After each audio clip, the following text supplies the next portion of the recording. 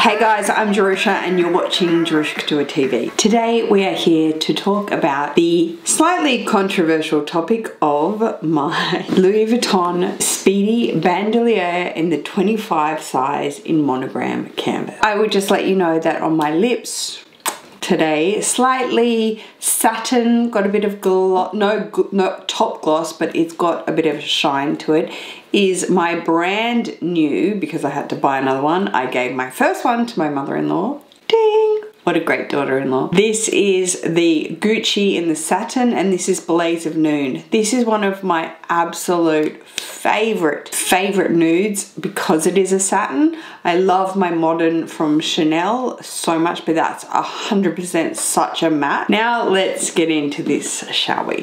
This is truthfully one of my most searched and, and viewed, but also like searched, created conversation, created interaction videos that is on my channel. The review of this Speedy B way back when, God, I had long ombre hair and before we had kids, I was in, I think in our office building and I reviewed this bag and it sparked so much, I guess, kind of influence and so much oh my god, interest in this bag. I hadn't really come, you know, across the idea of getting the Speedy with the strap and it was so, so new. So that would have been back in, what, 2014, I think, because I picked this bag up brand new from the Louis Vuitton store in Rome, Via Condotti, Via Condotti, I think, and we were on our Europe trip and I picked it up there. I remember the first time I saw this bag on Pinterest or wherever I saw it, it was a proper uh, editorial picture of this bag when it was just getting started. Like literally, it may have been, been four or five months and there was no heat on it. No one had really tapped into it. And I just remember this image so well and I was like, this is a fire. So where it went from there was I did the unboxing video. I then did that full review of it. I mean, I did point form, you know, I went over the patina and the strap and the sag and everything, everything. And yes, it, it caught on, should I say. It caught on quite a lot. I obviously got inundated with interest on this bag and what do you think and what does it fit and is it good for uni? Is it good for you know work? What is it just casual? Can you dress it up? And so on and so forth. Massive massive conversation and interaction from that video. This then went on to be you know everything in my collection. So much use out of this bag and so much a forever bag and it'll forever be my collection and forever ever ever. I'm so sick of hearing that. You have no idea. Uh,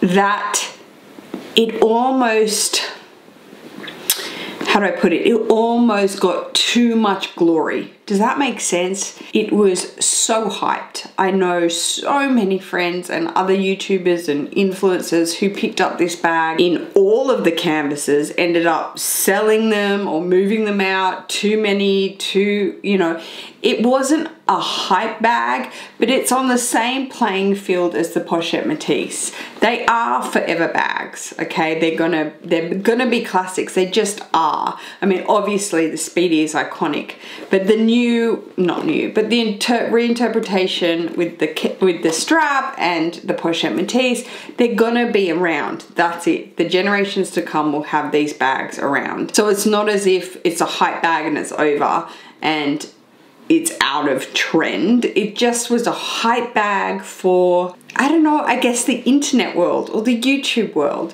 So that's the thing so much. If I said to you tomorrow, that's it, I'm selling this, so many people would be shook. Okay, that's a whole nother video to come. I definitely think I need to do like Jerusha's opinion on this whole like buy and sell crap about the luxury community and blah, blah, blah, blah, blah, because there's so much to say about it, trust me, it's super controversial, but there's a lot to say. And it's got a lot to do with this sort of stuff, is that, you know, things can run hype and they can run hype in your life and they can almost get too glorified and become too big and need to take a step back, you know, need to kind of have a seat This kind of drifted that way along with the fact that I can't remember the exact time.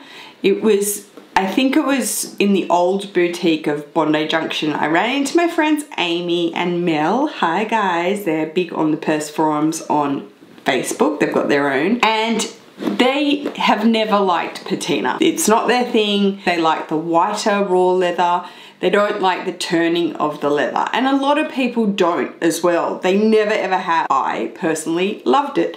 I originally loved it. I in fact bought, you know, my original Keepall. I bought it vintage so, to, so it was already patinaed quite a lot. Then something changed. Something snap changed as well. When I think I was seeing Amy and Mel, they were just like, we we sell the second it gets to a particular shade and we rebuy.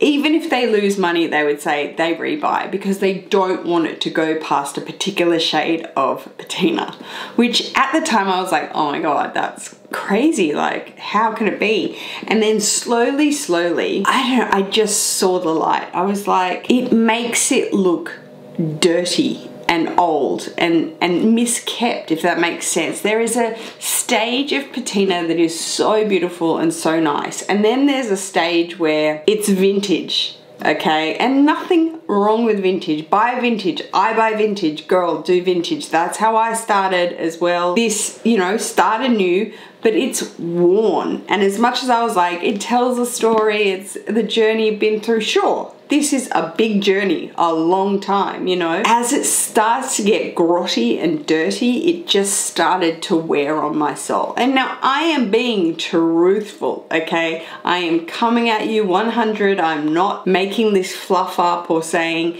you know, um, I haven't changed my mind. Yeah, I have changed my mind. I now feel as though in my life I don't particularly vibe with patina. So take it there chew it, eat it, smoke it. That is how I feel. And I am expressing it because we share on YouTube and that's just it. If you bought this bag because I reviewed it, I did not hold a gun to your head and say you had to.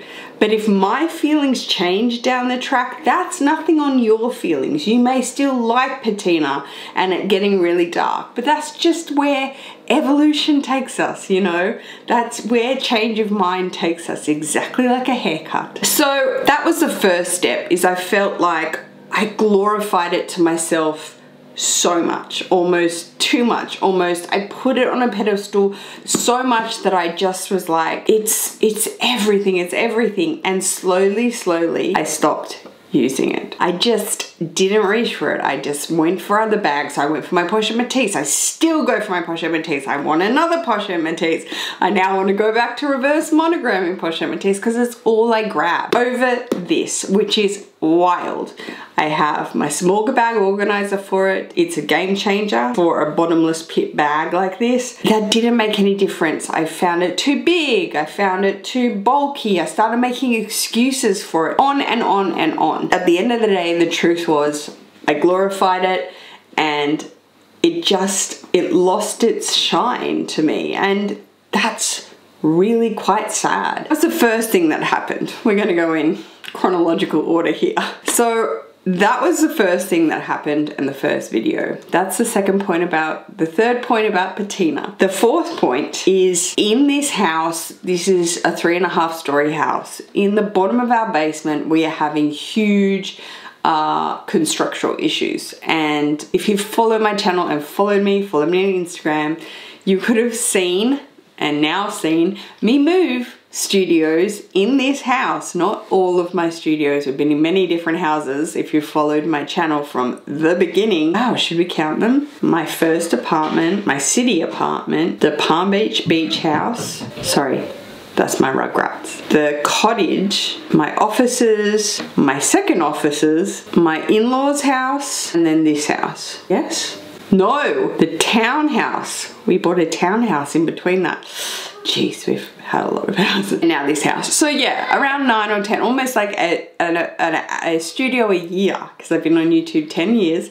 Downstairs needs full rip out construction, okay? It's got really bad seepage issues. This was one of the three bags that was damaged with mildew growth. So because this is raw cowhide vachetta leather, because it's raw, it's like untreated, it's like it breathes, it's like an animal. In part, in part area of my studio, I will throw pictures in. I do have documented pictures. Vachetta was covered in mildew growth, covered. It was so upsetting. It was soul wrenching. The internals were covered in mildew, it got conditioned and it got went to the cobbler and got taken care of and everything. But at the end of the day, it still has permeated kind of that, you know, op shop thrift store kind of smell but it just made the whole feeling 10 times worse. I was like it's damaged. It's been hurt. Oh my gosh. Now it's ridiculously vintage. And it was it was really heart-wrenching. And I was just like I can't do it anymore. I don't I don't want it anymore what am I going to do with it? I'm not going to sell it. It's not in a condition to sell. And I was like, well, I'm going to just gift it. I'll just gift it to one of my nieces or something like that. And then I was like, well, that's like, no, just hold on to it. So it's just been sitting and that is about it. It just lost its shine. It wasn't, it, there was no TLC and it was just, it was a sad story it is a sad story. And because we do so many like unboxings and great bags and this and that, I wanted to tell this sad story and I wanted to tell you the truth of what has happened to this bag in my life. Whether or not I will part with it and get a new one or just leave it. But yeah, I wanted to tell this sad story as well because we always hear great stories and they're not always great and it's not always a nice feeling. And this, if you follow my channel, was such a hyped bag in my life. I want to show you where I'm at now. And you can sort of see how polarizingly different the two stages are. And I think that's important to know. That is the story of my Speedy B. When I bought it though, it was 2000 and 13. I think it was something like, I want to say 980 euros. Was that's crazy. So absolutely massive inflation since then. But that is the true story of my Speedy B. Many of you have asked. That is it. It is not glamorous. It is not shiny and pretty. I don't know where to go from here. I don't know how to feel about it. Let me know in the comments below. Let's start a conversation if this has ever happened to you with any bag. With any single bag. It could be, you know, a Goyard, a Dooney and Bourke, a Coach bag, a Chanel bag, anything, any category of designer or luxury bag where, you know, it just a little bit of the shine rubs off and that's okay too. So that is it guys. If you like my kind of story time truth about this bag, please go ahead and give me a thumbs up. Let me know what you think in the comments below. If you haven't subscribed to my channel already and you wish to do so, there is a button below. I'd super appreciate that guys. I've checked my analytics and about 65% of my viewers aren't subscribed to my channel. It would mean so much to me if you guys did go ahead and hit that subscribe button. I hope everybody is staying safe and doing really well guys. I'll see you in my next video. Take care. Peace.